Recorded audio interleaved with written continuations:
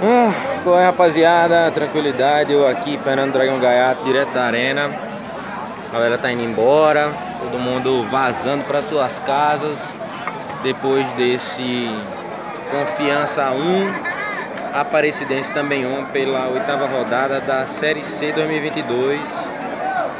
Continua a saga dos empates, continua a saga de um desempenho que não faz mal a ninguém. Esse time do Confiança não faz mal a ninguém inofensivo. Primeiro tempo do Confiança não deu um chute no gol. Até deu um chute, mas nenhum no gol. Isso é revoltante. O trabalho de Felipe até agora é pífio, ridículo. É, na minha opinião, o ultimato para ele é o próximo jogo. Se já não ganhar, não tem para que continuar com um trabalho desse que não dá resultado dentro de campo. Felipe faz algumas modificações na escalação, traz de volta Carlos Eduardo para lateral, por conta de uma lesão, o Janezinho não joga e Everton vai a campo no gol. Até fez uma partida ok, uma partida boa, fez uma defesa importante.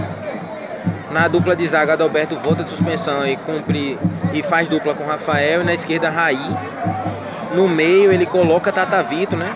Que vinha entrando e fez gol, junto com Bruno Camilo. Mais à frente, Bajo.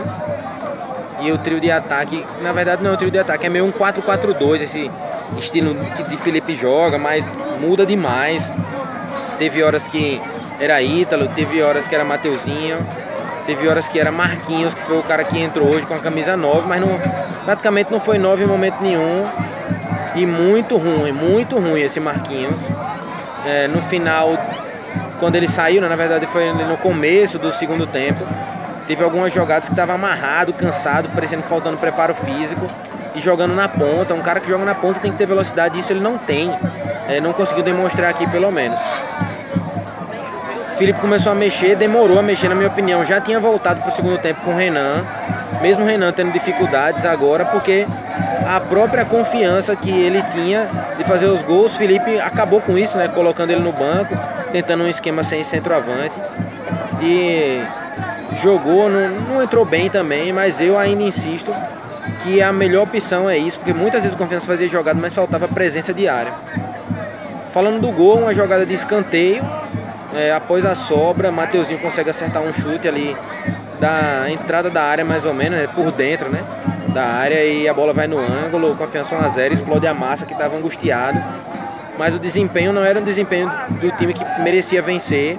Aparecidense já chegava com perigo. É, e estava bem, bem organizado na defesa. Eles apertaram um pouquinho, conseguiram fazer o gol. As informações que eu tenho é de que o gol estava impedido.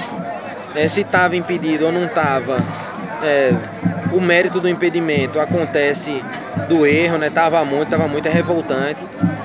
Mas em relação ao desempenho, confiança praticamente se entregou quando fez o gol, né?